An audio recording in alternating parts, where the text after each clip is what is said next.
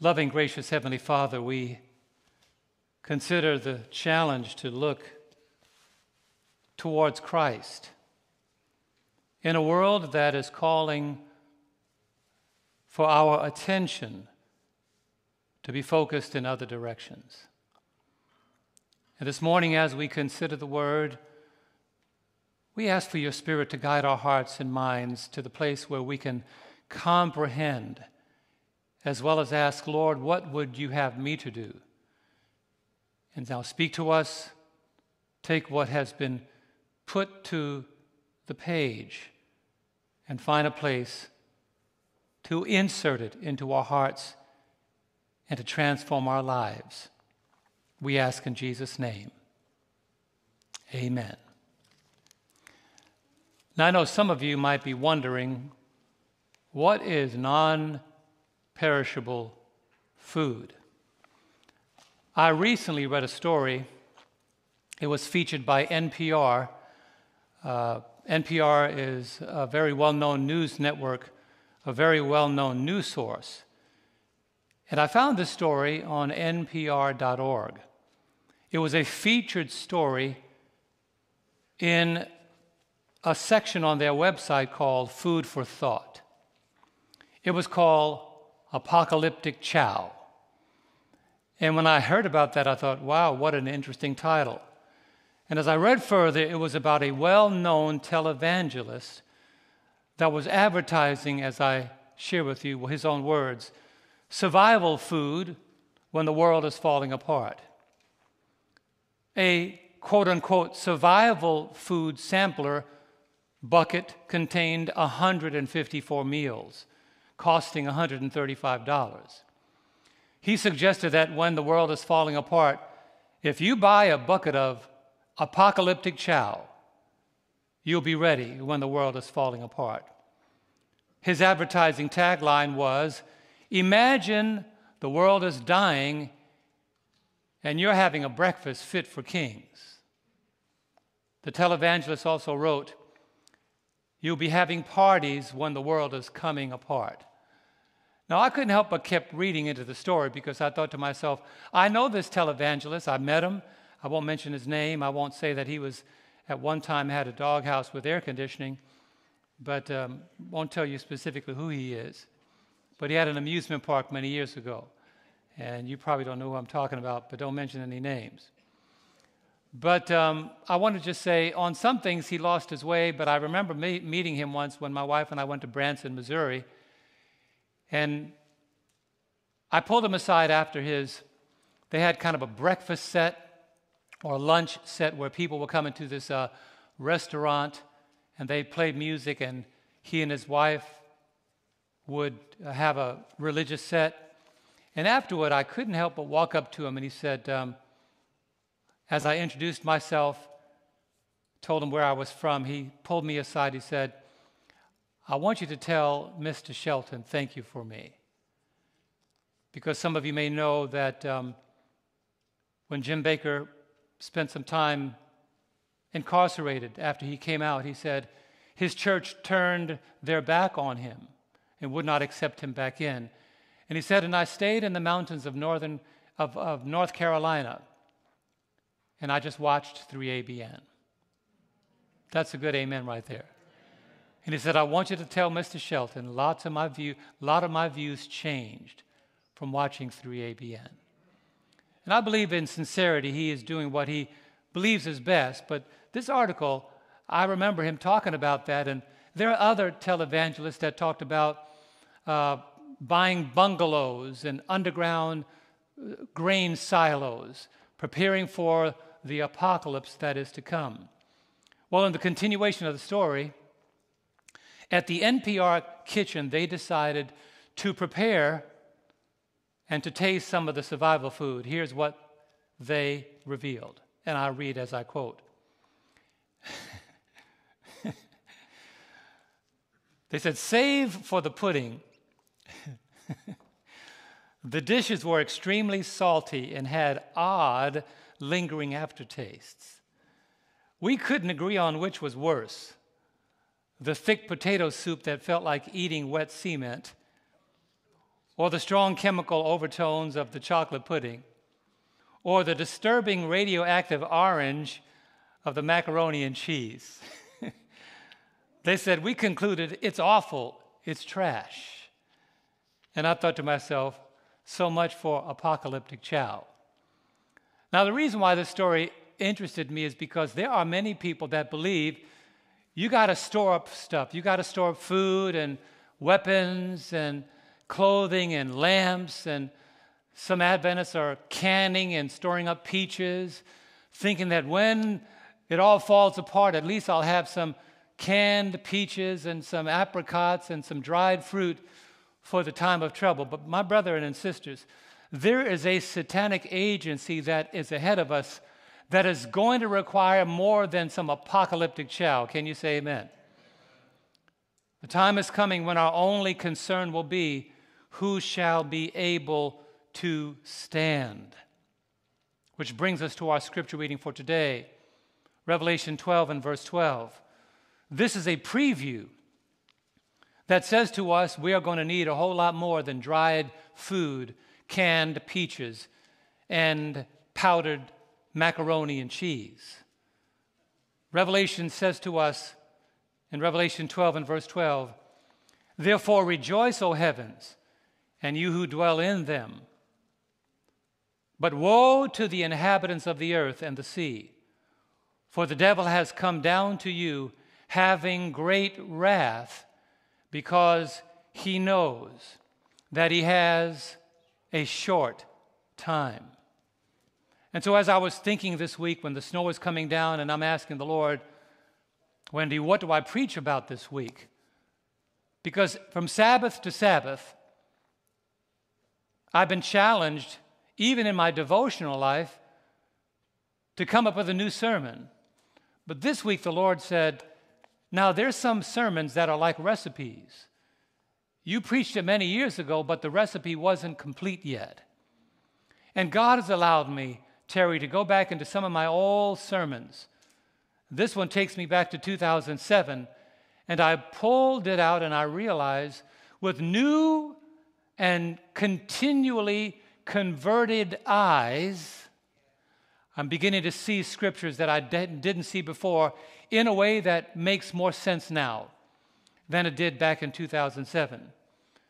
And so this message is not about canned food or powdered potatoes and, and powdered chocolate pudding. This message is for those that are looking for genuine, non perishable food. You see, before God restores the world right side up, it is going to be turned upside down. And we're just getting glimpses in politics and religion. We're getting glimpses on the war front as things are being agitated between Russia and the United States and the borders of the countries that they can invade. There is instability on the political side. There's instability on the military side. There is instability on the financial side. There's talks about changing money over sooner than later to digital currency. We don't have any idea of what's coming down the pipe. But I want to say that if you think the answer for the future is going to be your stockpile, then you are looking in the wrong direction. The agenda of the kingdom of darkness is to cut off our supply line to God. That's why the food that we should be eating on a daily basis is the Word of God. Spending time storing up what David stored up. He said, Thy word have I did what? hid in my heart that I might not sin against thee. If the word of God is not being stored in your mind and in your heart, then there's a time coming that you will not be able to draw on the fresh bread of life, the only thing that can sustain you. If Jesus drew on the bread of life in his time of trial, what makes us any different? Satan wants to discourage us. He wants to cause us to feel abandoned by God. And if you focus in the wrong direction, that is going to be your experience. But I want to tell you today God will not abandon us. In our darkest hour, when we stay connected to God, God will deliver us. Because God is not dependent on us, but we are surely dependent on God. when I look at the context of what the Lord led me to look back at a second time, very few stories in Scripture illustrate how dependable God is, like the siege that took place in Samaria. If you have your Bibles this morning, I'd like you to turn to the book of Second Kings. We're going to walk through Second Kings in just a moment. But to lay the foundation, this story covers a number of chapters. It doesn't just land in chapter 6 of Second Kings, it, it's laid the foundation in chapter 4 and 5 and 6 and then 7 and 8. You find the story develops itself. There's a high point and then there's a focal point. But before we go any further, I want to just set the foundation. You see, the Syrian army came to arrest Elisha the prophet because they were concerned how they were not able to sneak up on the Israelites. Every time they made a plan to invade Israel, somehow the Israeli army knew. The leaders, the kings of Israel knew. Before the invasion, they knew. And the Syrian king said, How is it that before we even carry out our exploits, they already know? And somebody said, There is a, there's a prophet named Elisha that even knows what you're thinking about when you're in your bedchamber. Let me make a point. It was not Elisha that knew, but it was God that knew. You see, God understands in the secret chambers of our lives. God sees beyond the eyes of humanity. So they came to arrest Elijah, and you may remember the story when they surrounded the house of Elisha. Elisha's servant out, went outside and said, At last, Master, what shall we do? His servant thought that Elisha was going down that day. And Elisha prayed the prayer, which was the focus of our song. Elisha said, Lord, open his eyes. You see, in difficult moments, the prayer that each Christian should have is, Lord, open my eyes, that I may see what my natural eyes have not yet beheld. If we would use spiritual eyes, we could see beyond the difficulty that face us on a day by day basis. God opened the servant's eyes and the servant of Elisha saw chariots of fire surrounding the army. And Elisha prayed for God to blind the Syrian army. And the Syrian army suffered a setback because their plans were once again thwarted. You see, my brethren, when we are on God's side, God can turn the tide in our favor on any given day. The Apostle Paul in Romans 8, verse 31, reminds us. What then shall we say to these things? Let's say the second part together. If God is for us, who can be against us? I've had experiences in my life, I won't take the time to share them today, but growing up in ministry, I've had times when I've had very powerful people stand against me, very influential people stand against me, very well connected people stand against me. And I'm only here today because even when I made ridiculous decisions, I discovered in the aftermath that God was still working out the kinks in my life to pull me through. So, could, so today I can say, if God is for us, who can be against us? When you read the story in an unusual twist, and I'm not going to take the time to cover that today, I want you to read that this afternoon since you have a little bit more time because of the weather. But when you read the book of 2 Kings, chapter 6, in a very unusual twist, and think about it, the enemies of Elisha, the enemies of Israel, is now surrounding the house of Elisha the prophet. He prays for God to blind them. And at a moment when he could have destroyed his enemy, in an unusual twist, instead of destroying the Syrian army, they lead this Syrian army unharmed to Samaria, and then they feed them. Now, think about that for a moment. In a moment that they could have wiped out the very army that was attempting to wipe out Israel as well as Elisha, he prayed for God to blind them.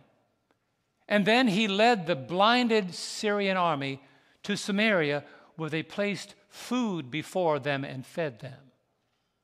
Now, how many of us would think about treating our enemies that way? How many of us would think about treating people that are not good to us as kindly as Elisha did? How many of us would say, This is the moment that God has given me the opportunity to take care of them, but we choose something else? We choose not to take care of them, but to behave as God would have us to behave, to not take advantage of the vulnerable. And the Bible has pointed out that even if the vulnerable that are now under the capturing arm of God, when God stands in our behalf and he, and he, and he handcuffs those who would have us and do us harm, remember what Joseph said, what, what the devil intended for evil, God did what? He used it to make it good. So there are moments when you experience difficult things that God is going to test you how you behave in that very moment.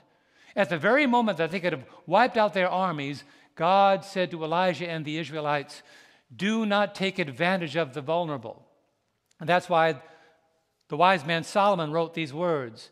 Because how we treat our enemies, and I'm going to say this again, how we treat those that we don't get along with, or those that we may have had difficulty with, or those that are a constant grind on our nerves. Do I need to keep going? Or those that sometimes we just don't see eye to eye with and we'd love them just to disappear. Those are the moments that the way we treat them will be a testament to our connection to Christ. How do I know that? Proverbs 25, look at the words of a wise man who understood the wisdom of God. Proverbs 25, verses 21 and 22. Look at the example that was later repeated by the Apostle Paul. Solomon says, If your enemy is hungry, give him bread to eat. And if he is thirsty, give him water to drink. For so you will heap coals of fire on his head, and the Lord will do what? Reward you. You see,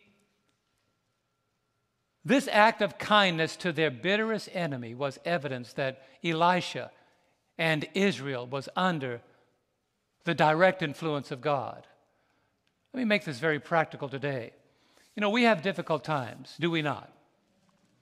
There are times and moments when, maybe even in our own home, uh, earlier this week, I'm to tell a like cute little story. My wife and I are mature enough to handle this. So this week, uh, you know, the snow locks you in. She couldn't go to work, and we just we woke up on the wrong side of the bed. I woke up on her side, and she woke up on my side. Anybody know what I'm talking about? Not physically, but mentally. And when we got up, we just dove right into what we had to do for that day, make phone calls, and we didn't start with our devotions. And you know, when you don't start with your devotions, something gets between you and God that could have been avoided if you started your day right. I don't need any husbands and wives to say amen at this moment. But so we were having that day, and she was chipper as ladies can be. You know, sometimes women can be fast off the cuff verbally.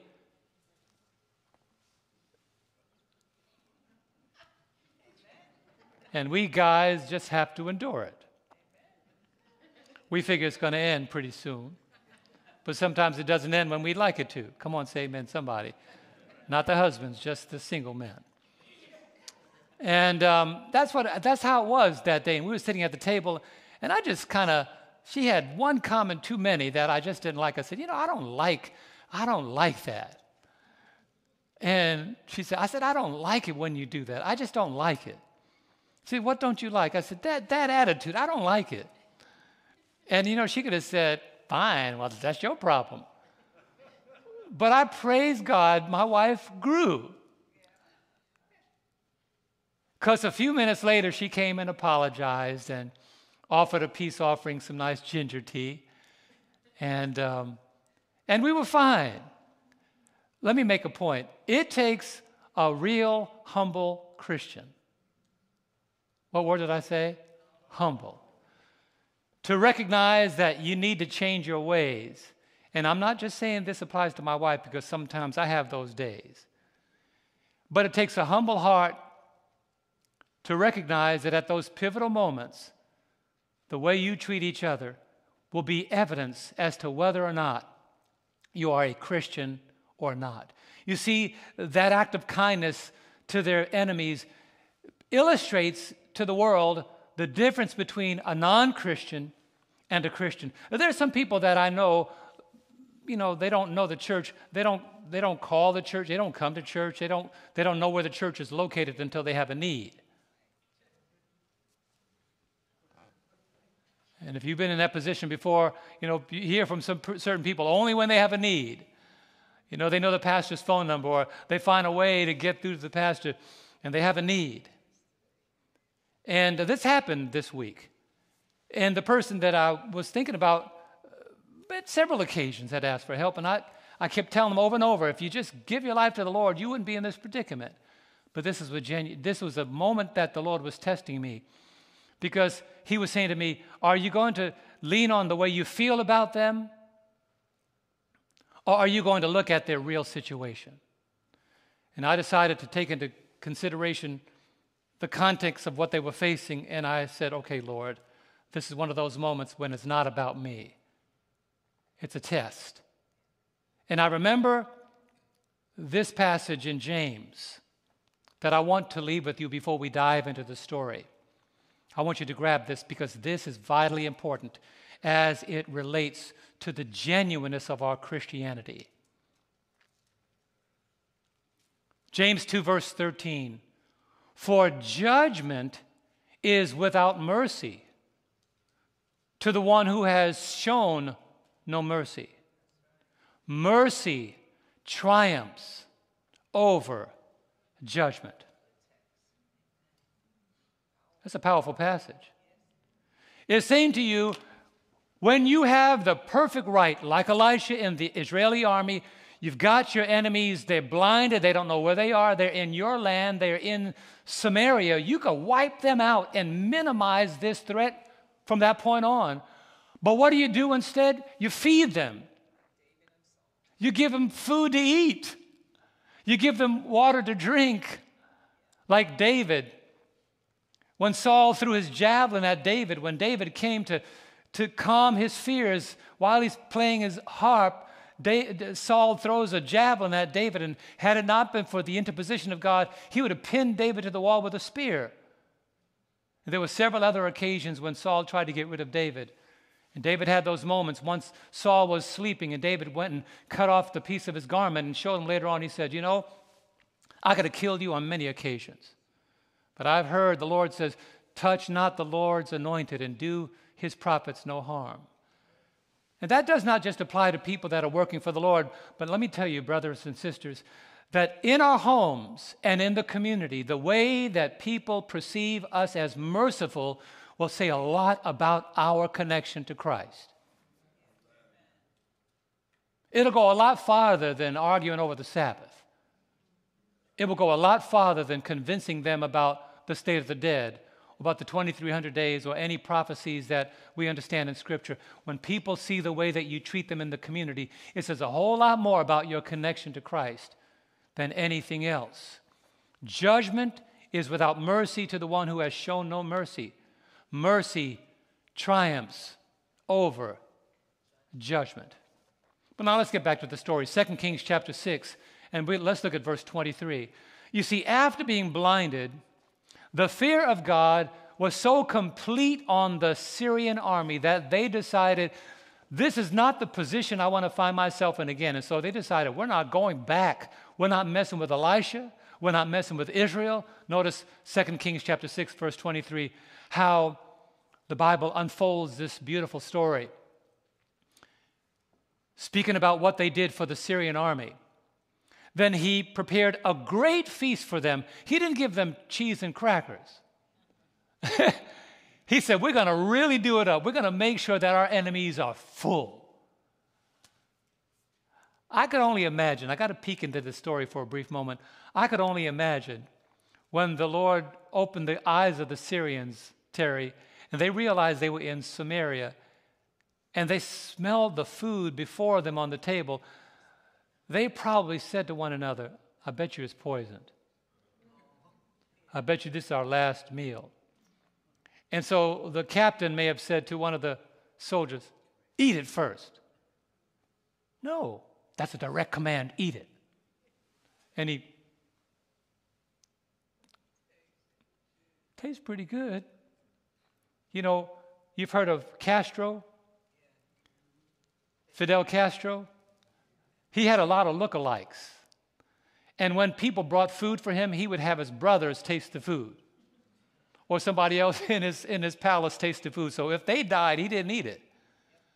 I can imagine in that moment when the Lord opened the Syrian army's eyes and they're, they're, they're surrounded by a great feast and they're about to eat and they're probably thinking to themselves, this is just, they, there's something about this meal that just doesn't sit right. They're going to kill us. This is our last meal. So, all that time, they're waiting for the axe to come down. The Bible says, then he prepared a great feast for them. And after they ate and drank, I can imagine them saying, This is it. We're going to, be, we're going to get shot now. And then he says, Okay, see you later. Come on, put yourself in the story. You're probably saying, See you later. Are you saying we could leave? Yeah, you can leave. They're probably waiting for any moment for the guns to start cracking or the, or the, or the, or the arrows to start flying or something to happen to them. I'm sure that when they got home, they talked about that story a long time. That's why the text ends this way. And he sent them away, and they went to their master. And look what it says. So the bands of Syrian raiders came no more into the land of Israel. We are not going back. And the Bible tells us when a man's ways please the Lord, he makes even his enemies to be at peace with him. You want to see the tide change in your favor? Stop being nice to people. I don't know what you guys ate this morning. That, that requires an amen. Stop being nice to folk. Stop being, stop being righteous Christians. Start being Christian Christians.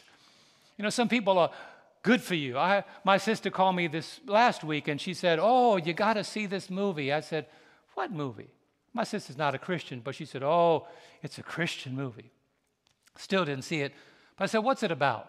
She said, It's about a pastor who went throughout his community and he found people that were down and out and people that were homeless and people that were druggies, and he brought them to his church. He helped them get their feet back on the ground.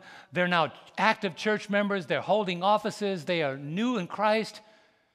And he said, But the twist in the movie is they forgot who they used to be, and now they are mean to the people that are where they used to be. They're, they're, they're, they're merciless. So they're walking, they show them walking through the community. She's telling me about the story. She said, Now the object of that is don't ever forget where you've come from. Because God doesn't redeem us to be in his showcase, he redeems us to be an example of who he is. When a man's ways please the Lord, he makes even his enemies to be at peace with him. But there's a saying that goes this way those that fail to learn from the past are doomed to repeat it. And that's what happened to the Syrian army. Go to verse 24 of 2 Kings. As time passed, the new leader forgot what had taken place in the distant past of the Syrian army. It says in verse 24 of 2 Kings chapter 6 And it happened after this that Benhadad, king of Syria, gathered all his army and went up and besieged Samaria. Now, this was not the same army. This was not the same leader. This was a different general. This was a different commander. A new commander now forgot the past experience of the Syrian army, and the last leader was no longer in command. So, this new leader called Ben Hadad, that means the son of Hadad, that means the god of storms. So, to besiege the city, it means to cut off every line of supply. So completely that they either give in or they stay inside the city and die for lack of food or lack of water. So they surrounded the city of Samaria. And the Bible made it so clear that this, this siege was so complete, they could not get out of the city. No one could get into the city. There was no food allowed. And if you notice recently on the news, that's what is being talked about that if Russia decides to invade Ukraine, that there's going to be an embargo. That's a new word for siege. They're going to cut off their supply lines. Countries are going to join in the embargo. They're not going to let certain supplies get into Russia. And Russia keeps saying, we are not going to invade Ukraine. But they said if they do, there's going to be somewhat of a siege against the country of Russia. And a siege means you try to survive with your own supplies, but if there are things that we know you need from all the other surrounding nations, we're going to cut that supply off until you give in or you fold. And the siege was so complete that it came to pass they were running out of food. And when you read the story, I'm not going to read this right now. Okay, I'll read it. Look at verse 25. Since you insist, since you insist, I heard your silent insistence. Look at verse 25. It's not on the screen, but the Lord made it clear to me. Look at this. Verse 25. And there was a great famine in Samaria, and indeed they besieged it until a donkey's head was sold for eight shekels of silver. 80 shekels of silver and one fourth of a kab or a pint of dove's droppings for five shekels of silver. Now that's bad. They were not eating donkey's legs. They had finished that already. There were no, no more fried donkey legs, no donkey shoulders left. All that was left was the head. So they're now selling the head for two pounds of silver. And they're no longer eating the dove. Let's get a little gross here for a moment. You'll forget when you get to fellowship lunch. But they're no longer eating the dove. All that's left of the dove is the dove's droppings. And they're selling that for two ounces of silver. What makes it even worse is not that they're selling it, but they're eating it. This is a good time not to swallow. Circumstances got so dismal that things went from bad to worse, and the king lost hope that any relief would come. Look at verse 26 and 27. The Syrian king said, The Samaritan king said, This is bad. We are in trouble. Verse 26 of 2 Kings 6. Then, as the king of Israel was passing by on the wall, a woman cried out to him, saying, Help me, my lord, O king. Hmm. And he said, If the Lord does not help you, where can I find help for you? From the threshing floor or from the wine press? In other words, he said, There's no place in this, there's no place in Samaria that we can find help. If God is not going to help you, there's no way that I can help you. In other words, if we can't count on God, Look at our circumstances. Where are we going to find help from? So this woman is pleading for there to be help. But look at what she inquired about, just when you think it couldn't get any worse. Look at verse 28 and 29 of 2 Kings chapter 6. Then the king said to the woman, What's troubling you? And she answered, This woman said to me, Give your son that we may eat him today. And we will eat my son tomorrow. I know you're quiet because I'm telling you that's one hard picture. Things got to go from bad to bad to worse to worse. Verse 29. The story is a gruesome story. You think that watching movies are bad? There's some stories in the Bible that would top any Jason movie you watch. You want drama? Read the Bible. Look at verse 29. So we boiled my son and ate him.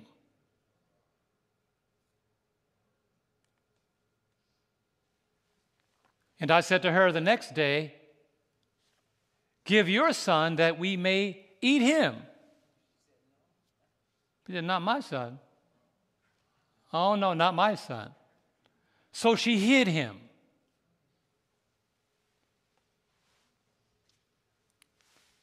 And by the way, that's not even the focus of the story.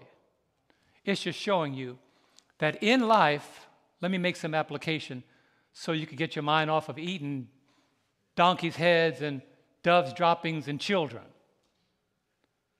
Sometimes we are faced by such dire circumstances in our lives that we may look around our house to things that used to bring us joy, and all of a sudden they lose their attraction. Does anybody know what I'm talking about? You can't pick up the remote. You don't want to hear the news. You don't want to listen to music. You don't want to hear anybody call you and tell you God is going to bring you through. You don't want to hear anything. It's getting from worse to worse, as the kids would say, to worser. When things seem like they couldn't get any worse, they did. Donkeys' heads, doves' droppings, and eating children.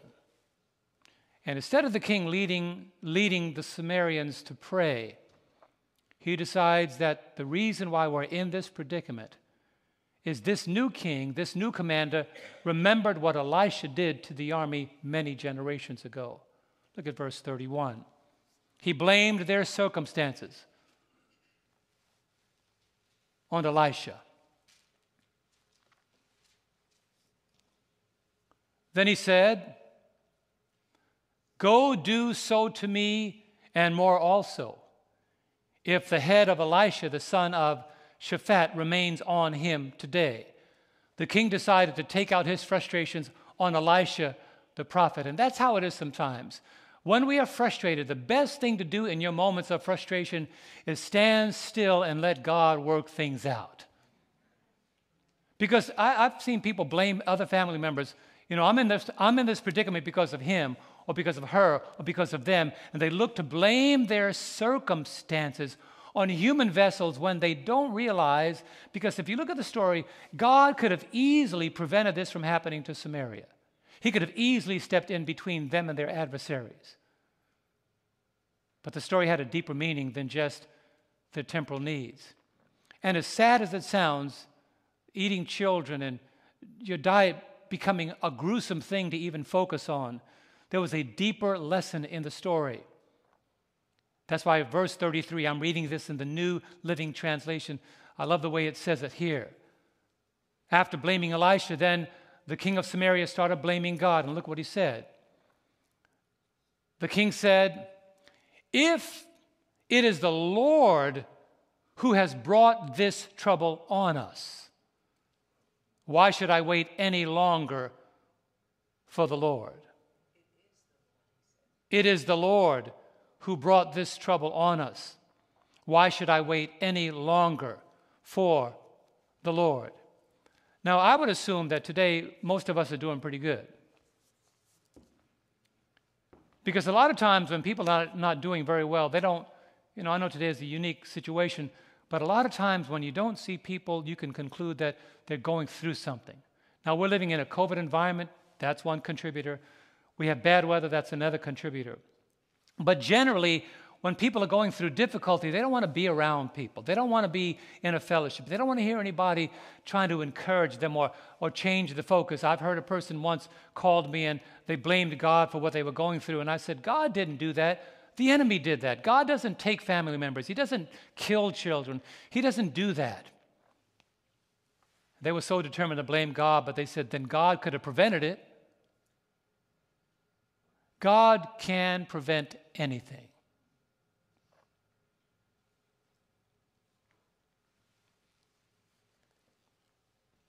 but not being a cynical God that wants people to eat their children. These actions that took place in Samaria was not because God refused to help the Syrians. It's because God was looking for the leader in Samaria. God was looking for the leader in Samaria to lead the people before the Lord to honor him Same thing happened to the children of Israel when they were traveling from the land of Egypt. Those that chose to dishonor God, the blessings of God was withheld, and God brought them to difficult and straight places so that in those difficult moments He can teach them what it means to turn away from the difficulty to the God that can solve every dilemma we face. That's why David the psalmist wrote these words. And this is something we have to learn because sometimes we allow the challenges of life to cause us to blame God. Notice what David the psalmist wrote in Psalm 27, verse 14. Can we read this together? Let us read this together. Here we are. What's the first word? Wait on the Lord. And what? Be of good courage. And he shall together strengthen your heart. Wait, I say, on the Lord. Have you ever waited on the Lord? Now, there's a way to wait on God. You don't wait on God being angry at God or wait on God pouting that you didn't get your way. You got to wait on God in the way that He knows it will build your faith. In the book that often is connected to sorrow and sadness and lamentation, that very book brings us a prescribed way that we should wait on the Lord. Look at Lamentations 3, verse 25 and 26. Praise God, a book that's often known for sorrows brings to us the perfect prescription on how the Christian should wait on the Lord. Here it is The Lord is good to those who wait for him, to the soul who does what? Seeks him. Look at this. It is good that one should hope and wait how? Quietly for the salvation of the Lord. You know why? Because too often we complain, we complain, we complain, and then we give up at the moment just before the answer comes.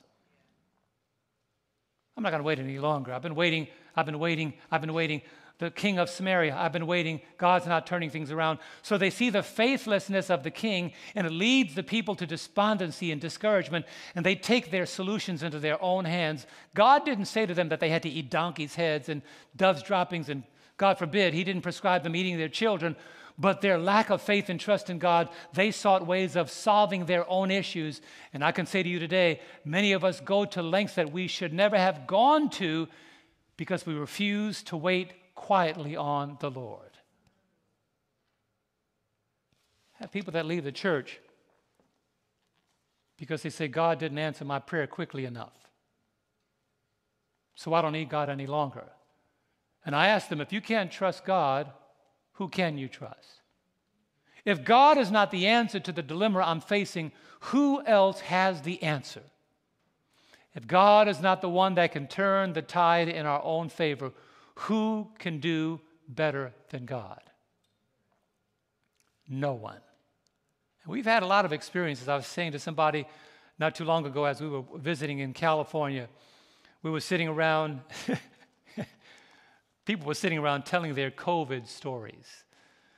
When we were out in California not too long ago, we were sitting in a room with some speakers that were part of the Three Angels Messages weekend, and they were all sharing their COVID stories how many times they had COVID and how many times and what they went through and what they faced. And, and I'm sitting there working on my sermon. And then one of them turned to me and said, well, How many times have you had COVID?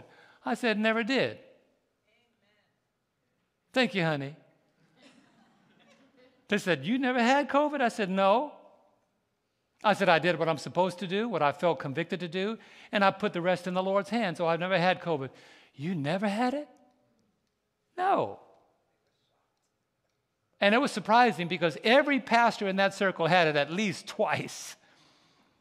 And folk came up to us that we knew was sick. And somebody warned us, look out for them, they're going to try to get you sick.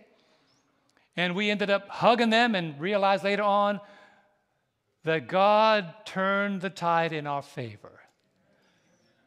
There is something called faith, and there's something called presumption. When you do your part, God promises to do his part. But let's not throw caution into the wind and say, I'm not going to wear my seatbelt because I don't, I've never had a car accident. I'm not going to wear my helmet. What's the chances of me falling off my motorcycle? There's a great risk. In the story of Samaria, The king lost faith in God, and his lack of trust in God affected the congregation. How do you think this church would be if I came up here every Sabbath morning complaining how bad life is? Man, we, got, we need to go to West Frankfort.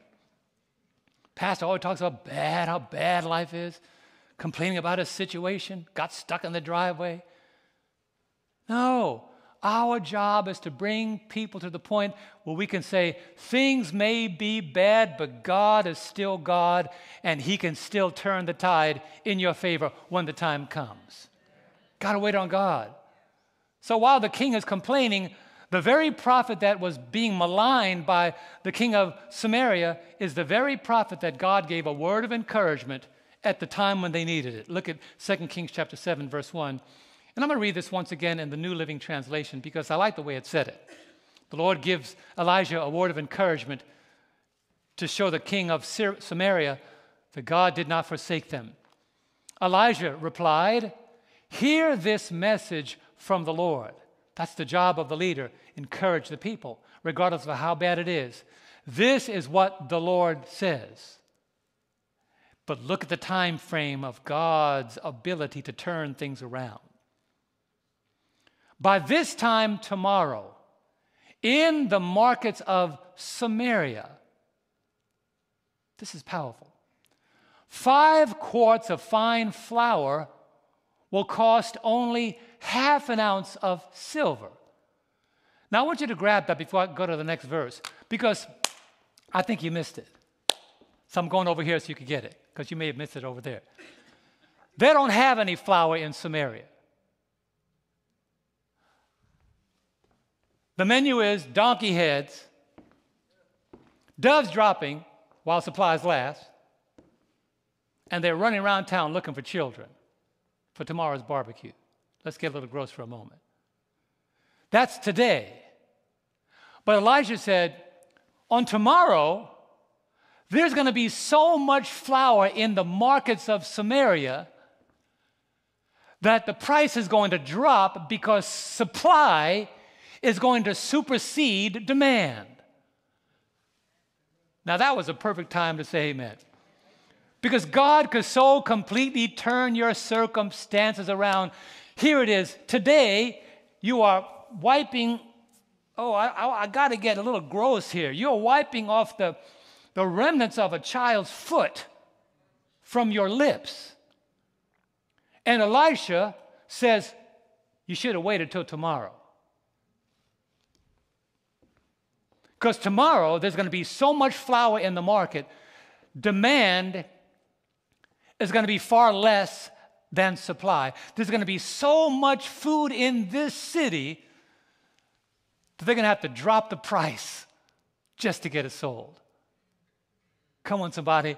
Did, it ever happen to you that God comes through so completely that your supply is so overwhelming that you just can't exhaust God's blessings. Oh, I wish I could tell you some of the stories, how God has come through so many times in my wife and I life so completely that the supply exceeds the demand. In other words, Elijah was saying, We're going to have Thanksgiving tomorrow. Uh, on the heels of your grossest meal, we're going to have some good food tomorrow. And he continues. He says, Not only will five quarts of fine flour cost you only a half an ounce of silver, but he says, and 10 quarts, and 10 quarts of barley grain will cost only half an ounce of silver. That's that good stuff. In other words, God is going to give us so much that we're not going to know how to even handle it. Which brings me to my third point. I only have two more points left. When you feel like giving up, I'm going to say that again. When you feel like giving up, remember, God owns tomorrow.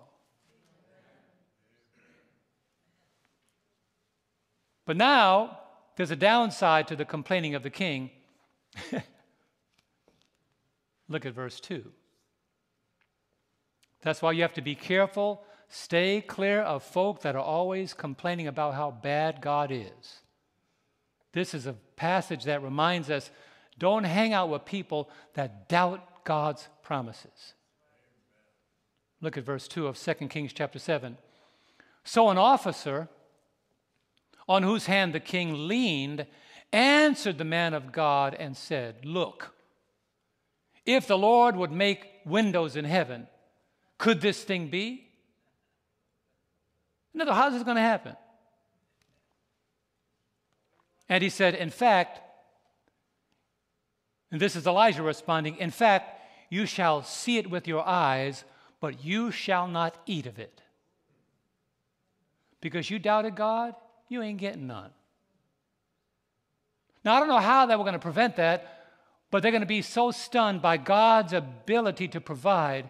He says, Because you doubted God, you are not going to benefit from the abundance of God's blessings. It's going to happen, but you're not going to get any.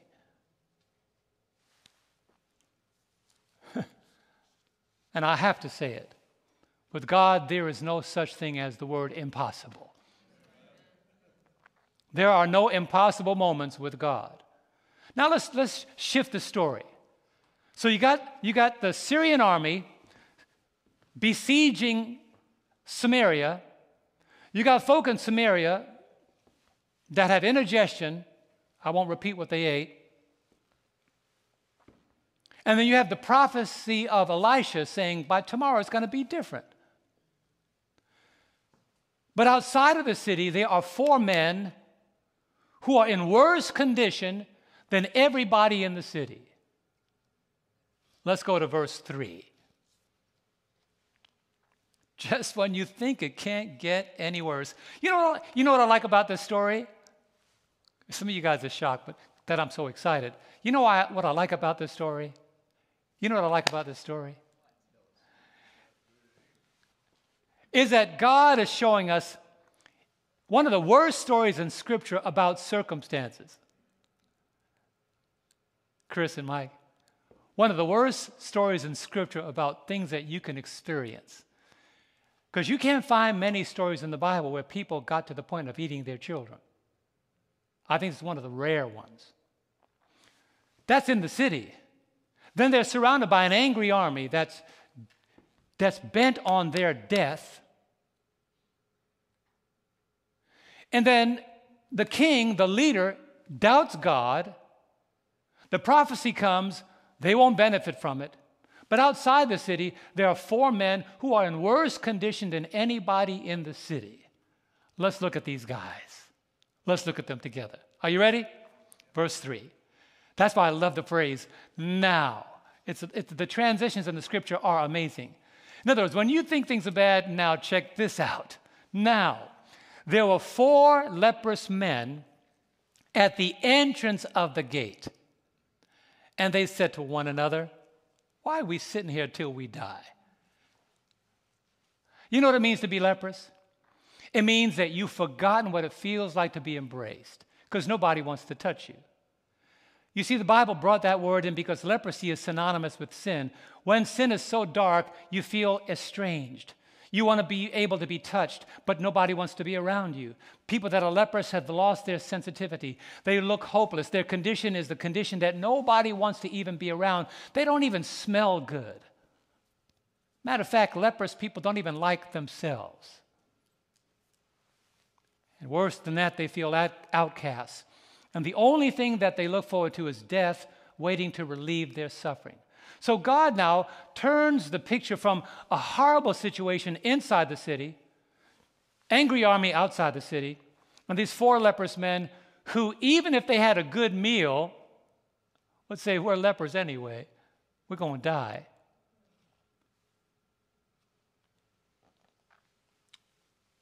But the songwriter says,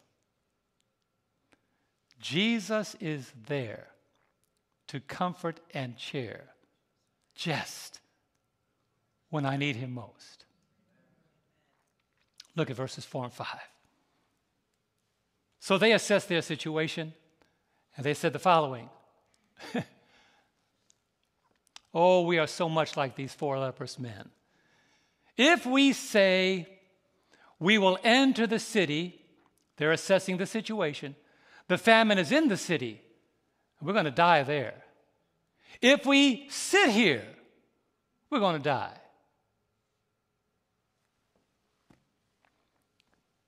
Now, therefore, come, let us surrender to the army of the Syrians. I mean, look at this. If they keep us alive, well, we shall live. And if they kill us, what's going to happen? We're only going to die anyway. It can't get any worse. Look at verse 5. And they rose at twilight to go to the camp of the Syrians. And when they had come to the outskirts of the Syrian camp, to their surprise, no one was there. Okay, okay. This is only for those who didn't catch up yet to the story.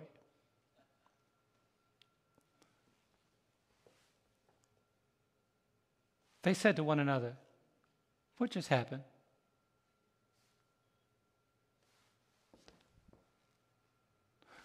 Wasn't the army just, wasn't the army here all day, all week, last week, last month? Where are they? Where are they? You see, this is the part of the story where Jeremiah the prophet chimes in and reminds us of what God can do. There's never a situation that we face that God cannot reverse to the shock of our perception. I don't know if I asked you to give me a story about something that God did that's, that's so profound that you can't even imagine God did it. This is one of those moments. Because here they are, their flesh is rotting, they're falling apart, and they decide, we're not going to go in there because we know we're going to starve, so let's go to the ones who do have food, and if they're merciful, then that's fine, but if not, we're going to die anyhow. And they go to the camp of the Syrians. Now, why do they go to the camp of the Syrians? Because the Syrians have enough food to continue to preserve them while they besiege Israel, their supplies are continually being replenished. So they have everything they need. They have food, they have clothing, they have a place to sleep, they have all the amenities, they got everything. They got nice cars, nice tents, they got nice every they got everything they need. So they said, let's go where they got all the stuff they need. And they might look at us and say, they're leprous anyway. Let's give them something to eat because they're going to die anyhow. And they go there, and Jeremiah yells at them in Jeremiah 32 27. Behold, I am the Lord, the God of all flesh. Is there anything too hard for me? So look at verse 6 and 7. And I'm winding up. Look what happened. For the Lord has caused the army of the Syrians to hear the noise of chariots and the noise of horses, the noise of a great army. So they said to one another, Look, the king of Israel has hired against us the king of the Hittites and the kings of the Egyptians to attack us.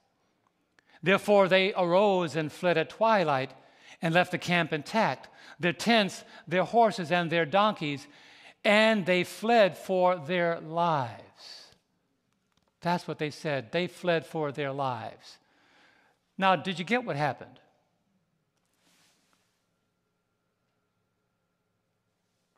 They thought that God, they thought that the king of Israel had hired some help, outside help. So the reason why the Syrians left is because that army attacked them. But you know what, brethren? Here's the beauty of the story there's nothing but four leprous men. God used sound effects. We think we, could, we, we think we are modern with sound effects. God used sound effects. Watch this. Four leprous men falling apart as they walk, and God made the Syrians hear the sound of chariots and horses and thundering tanks, and it's only four leprous men. Can God stand in our behalf or what? Four leprous men, and every step sound like a tent, sound like a, sound like a tank, sound like a, a, a, a destroyer, sounds like a massive army coming their way, and the Syrians fled for their lives.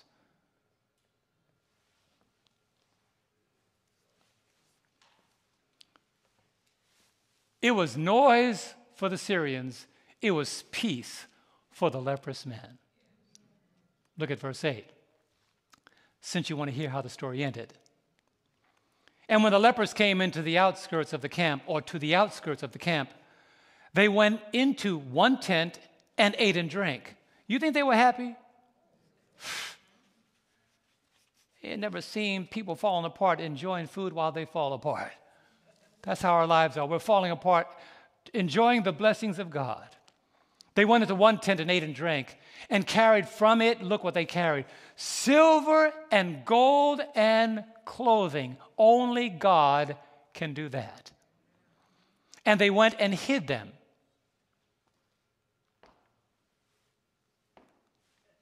And it says,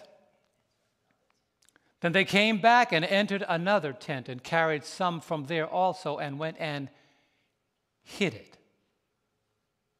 And look at verse 9. Then they said to one another, This ain't right. Then they said to one another, This is not right. Read it in your Bible. Here it is. Then they said to one another, We are not doing right. This day is a day of what, friends? Good news, and we remain silent. If we wait until morning light, some punishment will come upon us. Now, therefore, let us go and do what? Tell the king's household. These four leprous men were no longer rejected because they were the bearers of good news, as we read in verse 18 of 2 Kings 7. So it happened just as the man of God had spoken to the king. The very blessing that was going to be inside of the city of Samaria. I want you to grab this.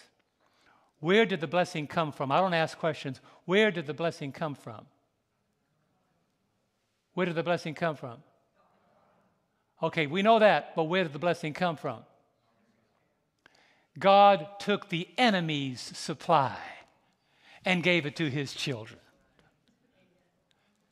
And he brought it on the backs of four men whose lives are falling apart.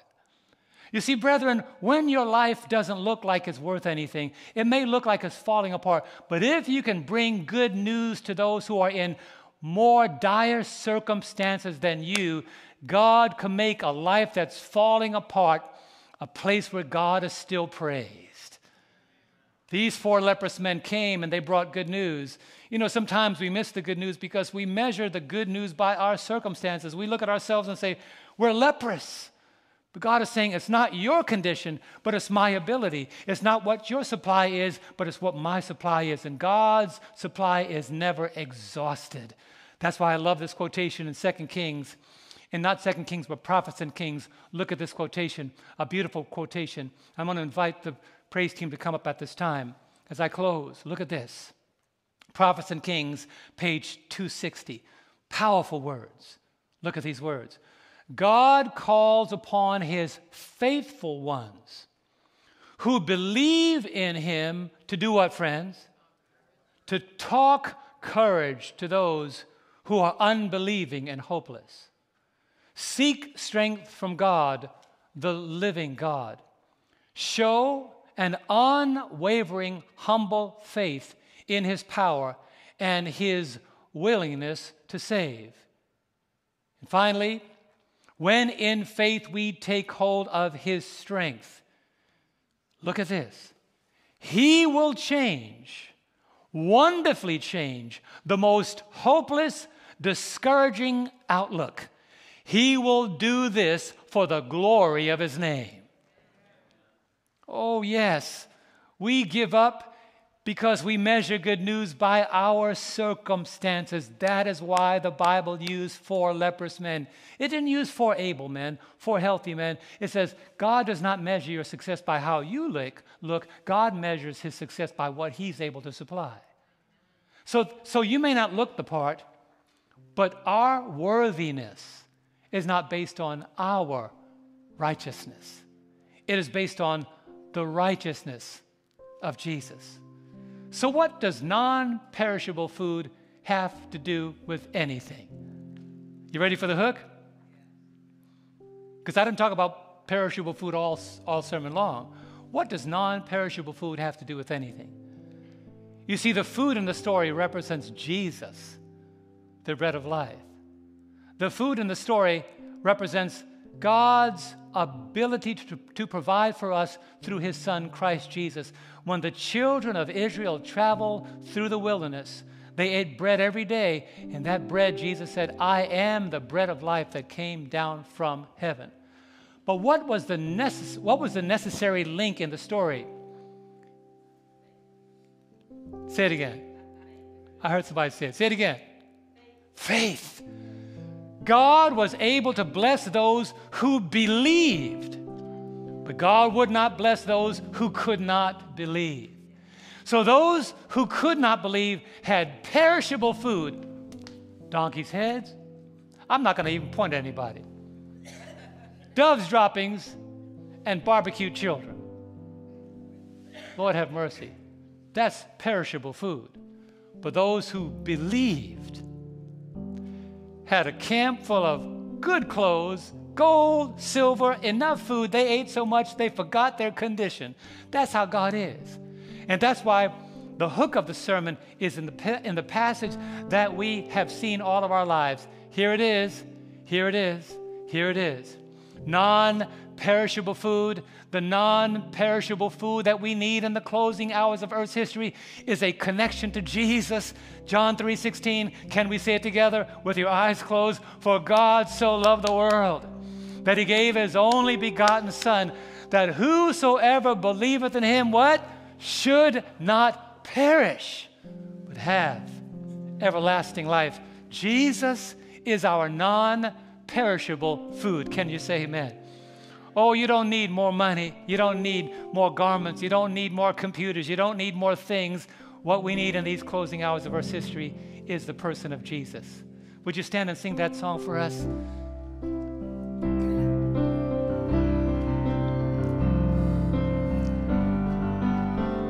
When you have Christ, this is how we see the future. Let us sing a song that will cheer us by the way. In a little while we're going home. That's eyes of faith. For the night will end in the everlasting day. In a little while we're going home. Where are we going? In a little while, in a little while, we shall cross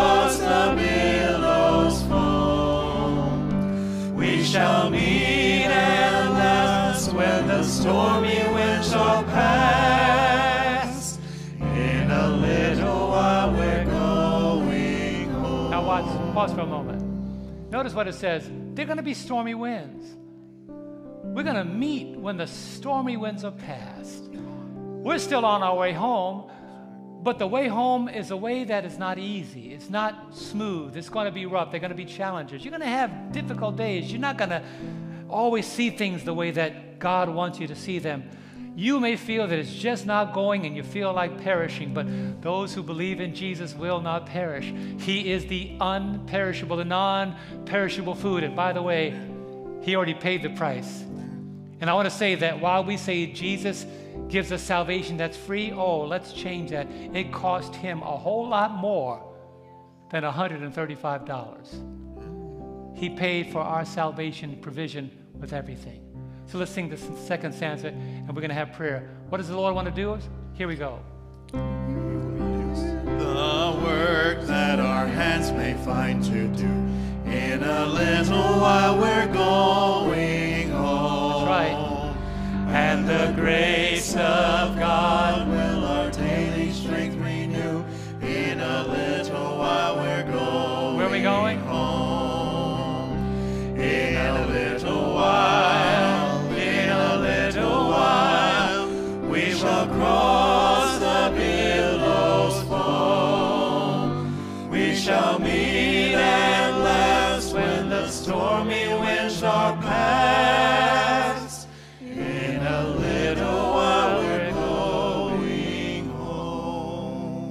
Forget that, my brothers and sisters. These are days of bad news, but the gospel is still good news. Jesus is still that non perishable food that we need in our lives. There's a place called grace where we are all invited, where illness is left on the outside of the gates of the New Jerusalem The homeless can walk on golden streets and live in mansions. The hopeless can feel the touch of belonging again. The abandoned and lonely are adopted into royalty. The rich and the poor become one in Christ. The outcast can sit and talk with King Jesus. And the lepers are made whole and wear robes of eternal righteousness.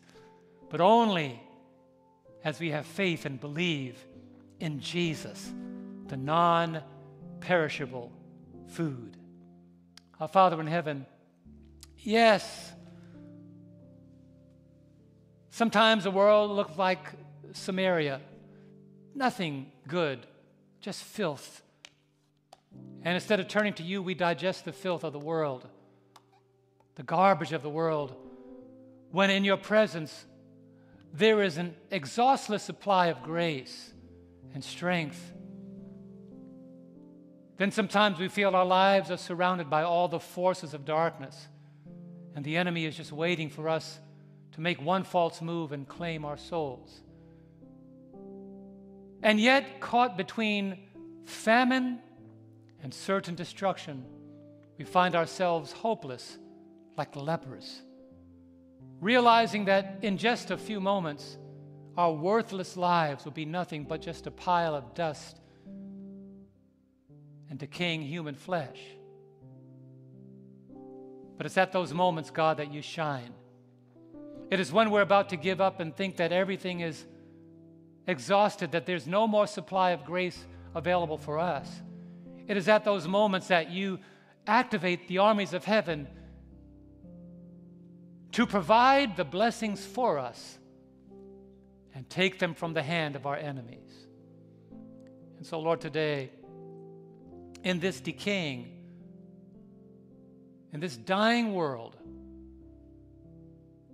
where men and women are seeking answers to their perplexities, help us to realize it's not just a receiving of blessings, but we won't do good if we hold our peace You've called us not only to be recipients of your grace, but to go and to tell the king's household. Send us forth from this place today with good news on our lips. The good news is still good news in bad times. Send us forth to proclaim this good news. And we ask it that Christ alone can be uplifted, and that people can find that when we believe in Him, we will not perish. Thank you for that promise and for that deliverance. In Jesus' name I pray. Amen.